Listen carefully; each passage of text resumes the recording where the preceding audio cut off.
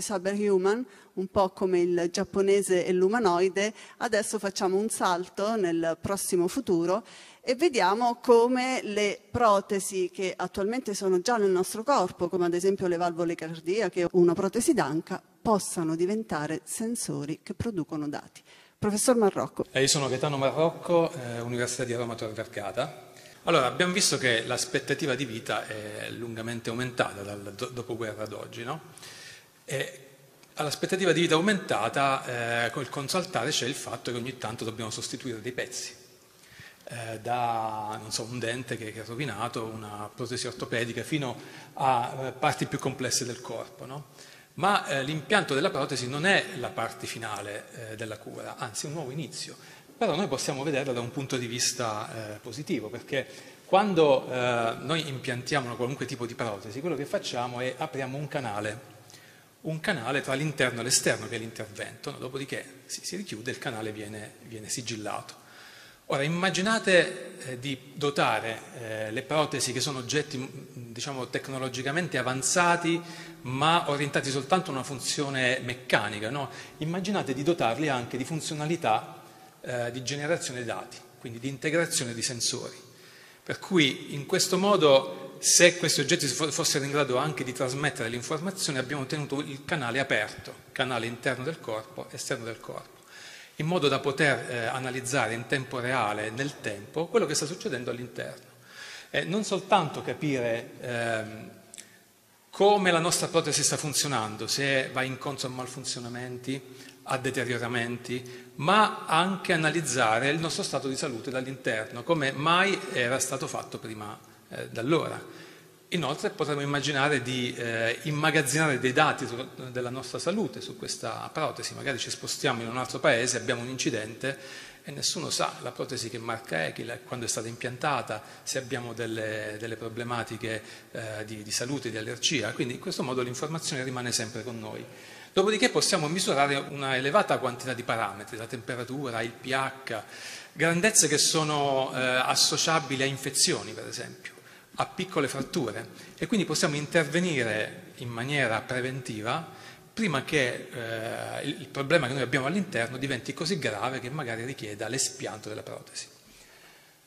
Cosa ce ne possiamo fare? Beh, possiamo costruire una continuità tra ospedale e casa, si parla di home hospital, no? chi ha insomma, magari qualche qualcuno a casa non particolarmente giovane che ha subito un intervento, magari hanno, ha rotto una gamba, un piede, hanno messo una protesi, quando torna a casa si sente solo, ha un, un dolore, un fastidio, non sa se è qualcosa di patologico, è normale, quindi prendilo, portalo in ospedale, sedia a rotelle, ritorna. Immaginate invece che la protesi essa stessa dia un'informazione su quello che sta succedendo all'interno con un cellulare, quindi alla portata di tutti in modo da poi tranquillizzare la persona o avviare un intervento eh, diciamo, immediato qualora fosse necessario.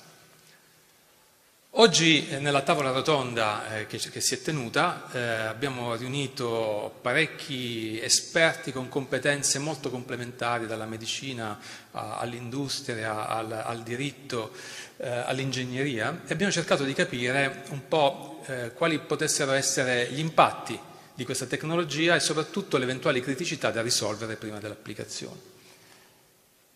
Ecco, il principio fondamentale è usiamo già quello che c'è, cioè evitiamo di complicare un oggetto semplice che già assolve ad una funzione e cerchiamo quindi di aggiungere il minimo possibile di elettronica così che trasformiamo la protesi stessa in qualcosa che è capace di assorbire energia dall'esterno, quindi non abbiamo bisogno di batterie che vanno sostituite, è capace anche di eh, trasformare una variazione di una grandezza interna in un segnale che possiamo trasmettere.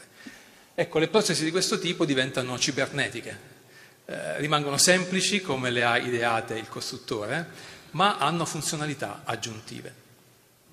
Ora, negli anni nel mio laboratorio a Tor Vergata ne abbiamo sensorizzate tante di protesi eh, ortopediche, eh, protesi dentali, eh, fino, fino ad arrivare a una protesi cardiaca.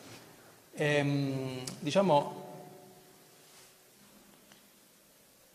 ecco, vi faccio un esempio che è un po' rappresentativo per capire. Questa è quella che si muove, si dovrebbe muovere, ma non si muove, era una valvola tricuspide che in alcuni casi deve essere sostituita.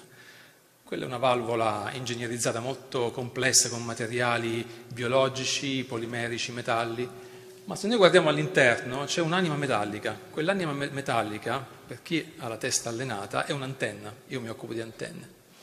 E quindi automaticamente sembra fatta apposta per assorbire energia che viene dall'esterno.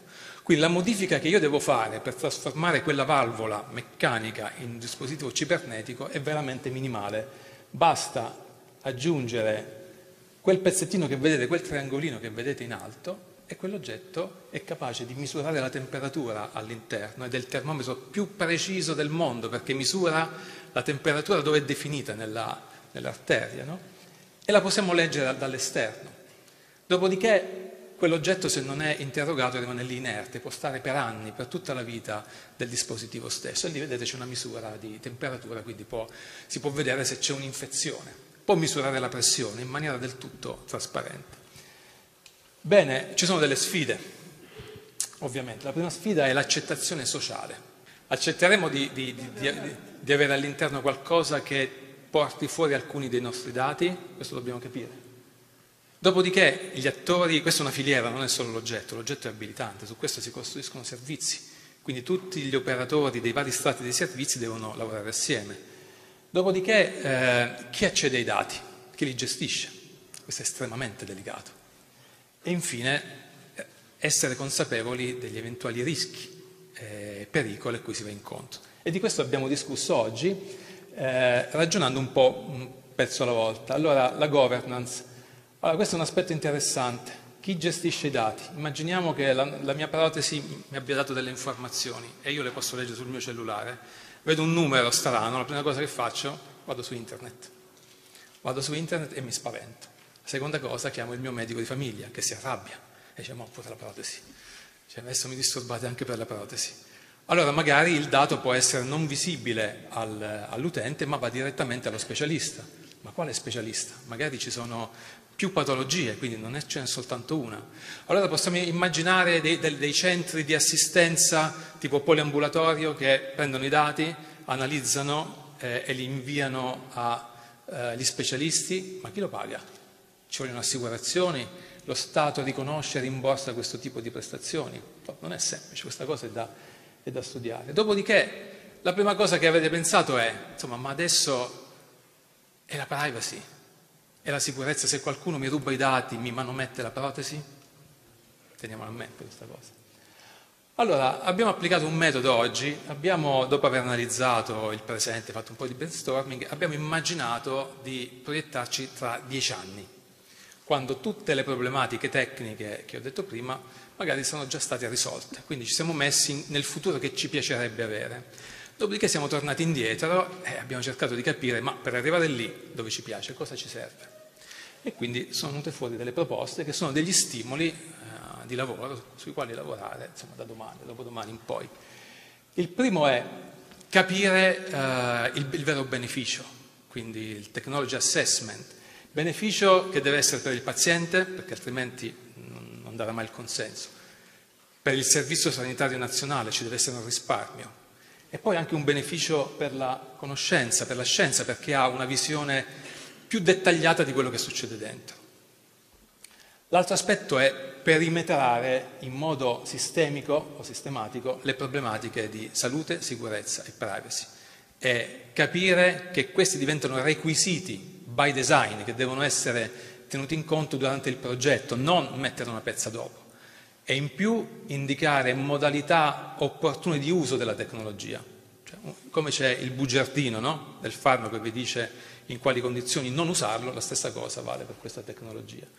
Dopodiché qui eh, stiamo generando altri dati, ma che facciamo? Creiamo un'altra sorgente disgiunta dalle altre? Possibilmente no dovremmo integrarle nei servizi eh, che lo Stato sta eh, standardizzando, possibilmente sotto uh, l'egida dell'Agenzia per la sanità digitale, quindi in modo tale che queste informazioni entrino per esempio nel fascicolo, nei processi di intelligenza artificiale. Poi è venuta un'idea insomma, di, di costruire un tavolo di lavoro verticalizzato sulle applicazioni cardiovascolari perché sono estremamente diffuse, hanno a che fare con un rischio di vita molto elevato, quindi il beneficio sarebbe particolarmente importante. E poi, e poi a un certo punto il PNRR finisce, quindi noi dobbiamo mettere in campo delle strategie per rendere continuativo e per rendere sostenibile questi ragionamenti, questi tavoli di discussione anche da, da qui a un paio d'anni. E questo è il lavoro che ci aspetta.